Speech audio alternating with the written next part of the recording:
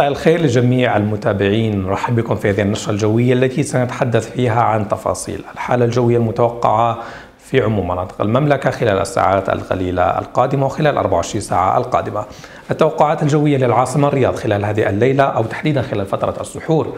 تكون الأجواء هناك نوعا ما صافية مع تفرق لبعض الغيوم. 25 درجة مئوية كحرارة مقاسة من محسوسة 24 الرطوبة منخفضة.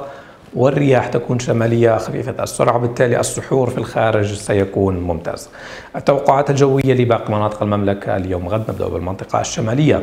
أحوال جوية غير مستقرة مستمرة بالتأثير في هذه المناطق.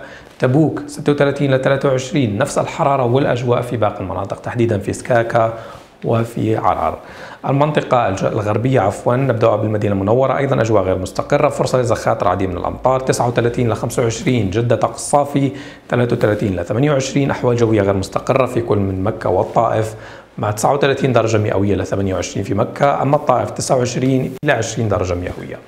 المنطقة الجنوبية الغربية أيضا أحوال جوية غير مستقرة زخات رعدية من الأمطار في أبها 27 إلى 16 ألباحة 25 إلى 16 وجازان 35 إلى 28 درجة مئوية. المنطقة الشرقية الدمام 37 إلى 25 حفر الباطن 41 إلى 23 والإحساء 42 إلى 24 درجة مئوية. المنطقة الوسطى العاصمة الرياض 39 إلى 24 بريدة طقس حار 39 إلى 24 وحائل أحوال جوية غير مستقرة فرصة لزخات من الأمطار 36 إلى 19 درجة مئوية. كان هذا كل ما لدينا لحد الآن إلى اللقاء.